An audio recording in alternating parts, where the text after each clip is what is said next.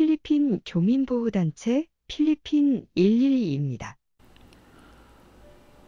앙겔레스 한인업소에 총을 든 강도가 침입해 금품을 갈취하는 사건이 또 발생했다고 합니다.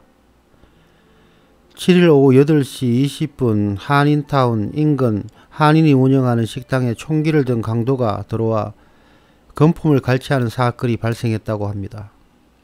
용의자는 범행 전 해당 식당을 방문해 CCTV가 있는 것을 확인하고 상황을 체크한 후 손님으로 가장에 음식을 주문한 뒤 직원이 음식을 준비하는 사이에 총을 꺼내 손님들을 협박해 금품이 든 가방과 휴대폰을 탈취, 밖에 대기 중이던 오토바이를 타고 도주했다고 합니다.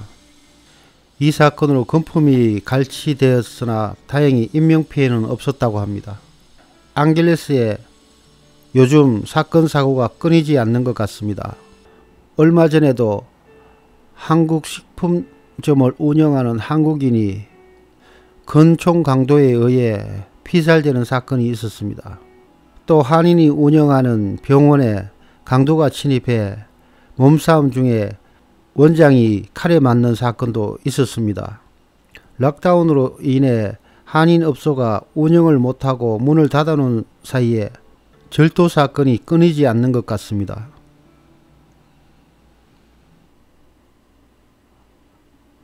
한국인이 운영하는 곳에는 현금 결제를 해야 되지 카드로 결제를 하는 곳이 별로 없습니다. 그러다 보니까 필리핀 내에 이제 한국 사람들도 한국 사람들이 운영하는 식당이라든가 식품점에는 카드 결제가 되지 않는다는 걸 알고 있습니다. 그래서 늘 현금으로 결제를 하는 것이 한인 업체의 기본적인 룰로 되어 버렸습니다. 그래서 한인 업체에서는 항상 현금이 많이 오고 갑니다. 그런 것들이 이제 현지인들에게 비춰질 때 돈이 많다는 인, 식이 생긴 것 같습니다.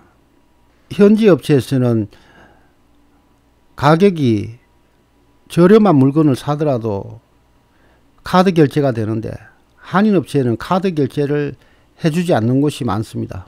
그런 것들이 필리핀 내에서 일어나는 한인들 사건에 큰 역할을 하는 것 같습니다.